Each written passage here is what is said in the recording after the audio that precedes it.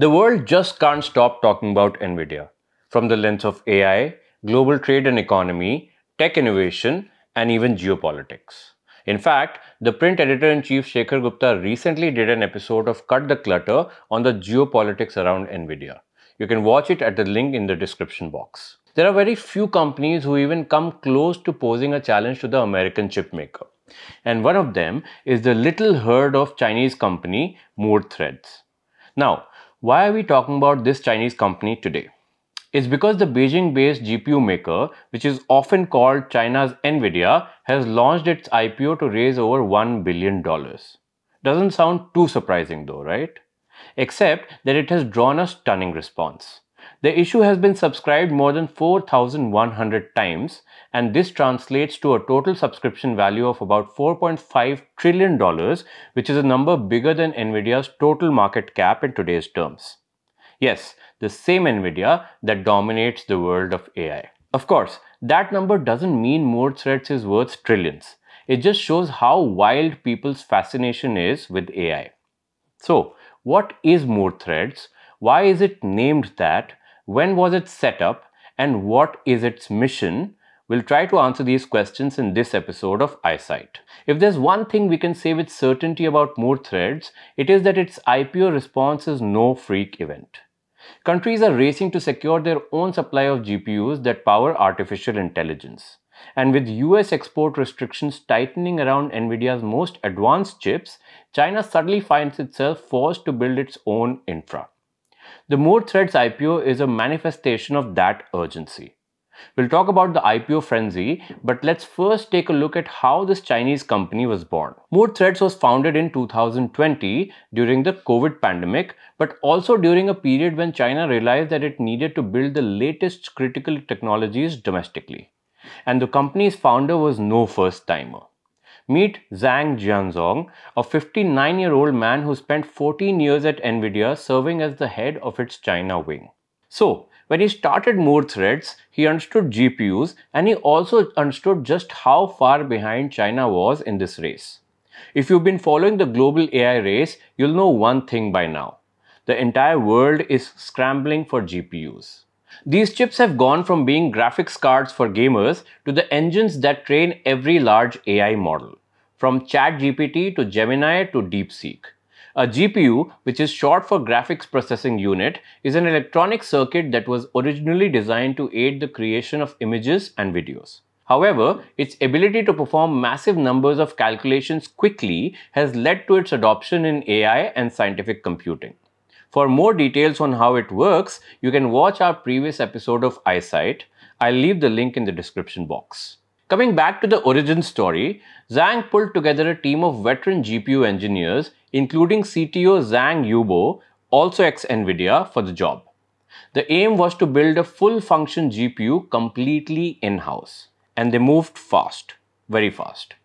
Moore Threads designed and produced its first GPU chip in under 300 days. By late 2021, the team already had a working prototype of its first generation GPU. In the early days, Zhang largely stayed in the background. The company was initially registered under his wife's name, but by 2023, he took full control. He now owns around 36% of the company and serves as chairman and general manager. This restructuring was clearly meant to prepare the company for its upcoming IPO. Now, Moore Threads is an interesting name, right? Where does it actually come from? It's supposed to signal the company's vision. It's a tribute to Moore's law and multi-thread computing at the same time. And what is Moore's law? Moore's law, originally an observation by Gordon E. Moore in 1965, observes that the number of transistors on microchips doubles roughly every two years while costs decrease. This is not a fundamental law of science, but an observation. And it has been a key principle in tech for nearly six decades now. Many experts now say that Moore's law is slowing but not entirely obsolete. Chip progress now comes from smarter designs, not simple transistor doubling. Coming back to the Moore Threads founder, he says that today's large language models are just the beginning. Future AI, immersive graphics, scientific workloads, etc. will need enormous computing power.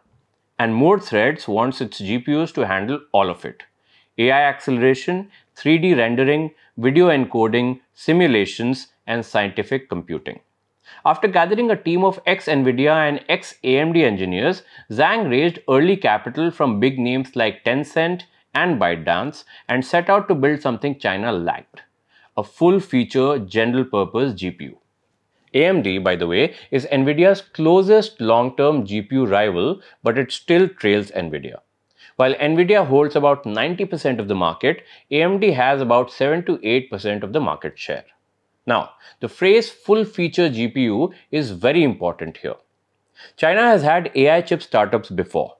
Companies like Cambricon, Biren, Iluvatar are all impressive but focus narrowly on AI acceleration. AI acceleration is the use of specialized hardware to run AI computations faster and more efficiently than general purpose processors can. To understand Moore threads, you have to understand the tension it was born into. For nearly a decade, China's tech giants trained AI models almost entirely on NVIDIA GPUs. NVIDIA had over 90% of the AI accelerator market inside China. And it wasn't just hardware dominance. Now, let's pause and look at one thing. NVIDIA has stunning global dominance, but it's not just because of the GPUs it makes. It's not like if a company manages to make the same type and quality of GPUs at the same scale, they will be able to easily challenge NVIDIA. There's another weapon in NVIDIA's arsenal which isn't talked about much, and that is CUDA. Now, what is that? NVIDIA is the world leader in GPUs, but its real power doesn't come just from making fast chips. What truly sets NVIDIA apart is CUDA, which stands for Compute Unified Device Architecture. CUDA lets developers write programs that run smoothly on NVIDIA GPUs. Over nearly two decades, researchers, AI companies, universities, and startups have built their entire workflows around CUDA. This means that the global AI ecosystem is deeply tied to NVIDIA.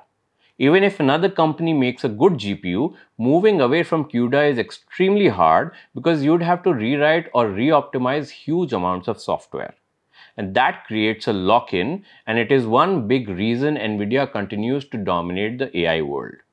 It's not like Moore Threads doesn't understand this. And so it isn't just building GPUs. It's also building Musa, which is its own software ecosystem. Musa, which stands for Moore Threads Unified System Architecture, is designed to work in a way that is familiar to CUDA developers. The idea is that if Chinese developers can run AI models and graphics applications on Moore Threads chips with only small changes, or ideally no changes, then the new GPUs become easily usable. And without this, hardware alone won't matter. In simple terms, NVIDIA has both the body, which is the GPU, and the brain, which is CUDA. Basically, CUDA has become the language of AI. The competition is not just about who builds the better chip, it is about who can build a full ecosystem that developers rely on day after day. Within four years, Moore Threads has launched four generations of its GPUs. They have rolled out gaming cards, data center cards, and software stacks designed to be CUDA adjacent. Now, why did China feel the sting? Why the need to reinvent the wheel even if for domestic considerations? The reason is geopolitics.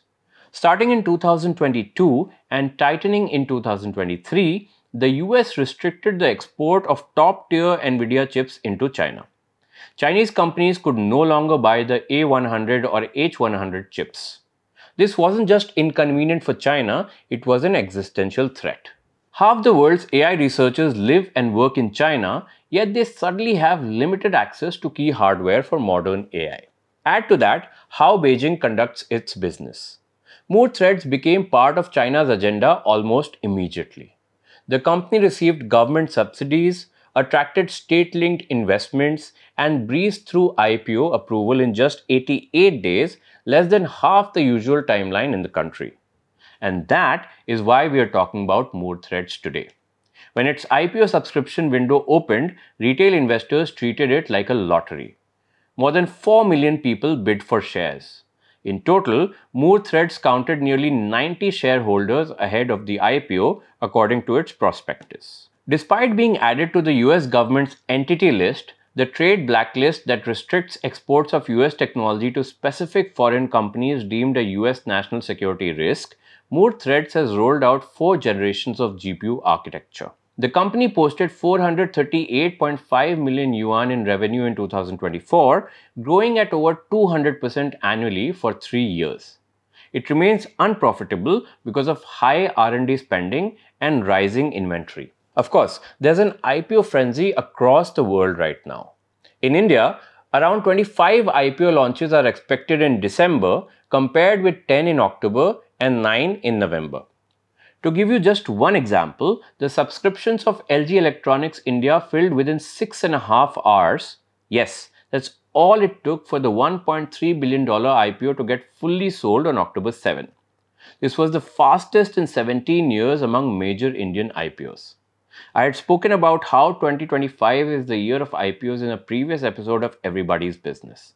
I'll leave the link in the description below. Another thing to note is that global AI financing has skyrocketed as investors chase breakthroughs in generative models and automation.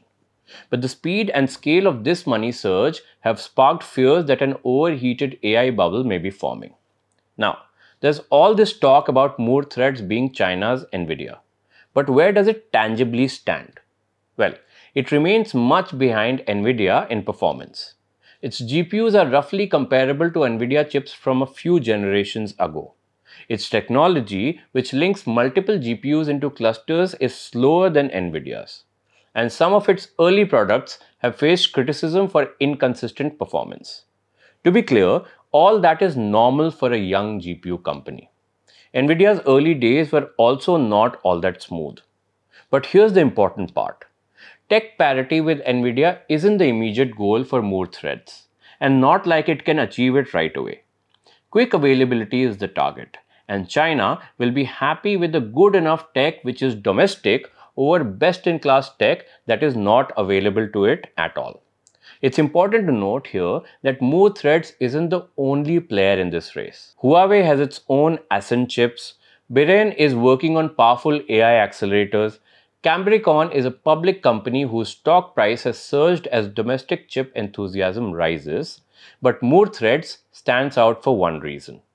It is trying to be a complete GPU company, not just an AI chipmaker. That ambition, plus the founder's NVIDIA background, explain why the label China's NVIDIA stuck, even if the technical gap remains just very large at this point. Now, the real question can Moore Threads ever truly challenge NVIDIA? In global markets, highly unlikely anytime soon. We've discussed how CUDA is everywhere. NVIDIA has also decades of patents, engineering muscle, manufacturing partnerships, and industry trust. You don't just catch up to that with one or two chip generations. But inside China, the picture is different. NVIDIA's access is limited. Domestic procurement matters. Chinese AI firms are looking for hardware they can actually buy. So the more accurate framing of the question isn't will Moore Threads replace NVIDIA?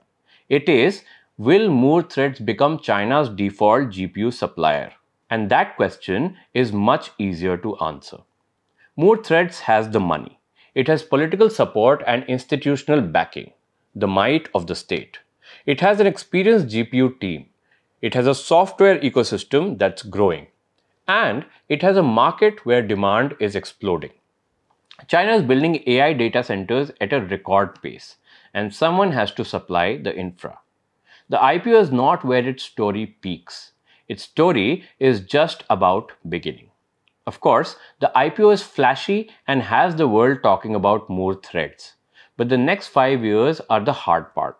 Scaling production, acing the software stack, training developers, and gaining trust from enterprise buyers. That's a gargantuan task to say the least. Moore Threads is the most ambitious attempt yet to build something like NVIDIA. And that's why its IPO shook the markets.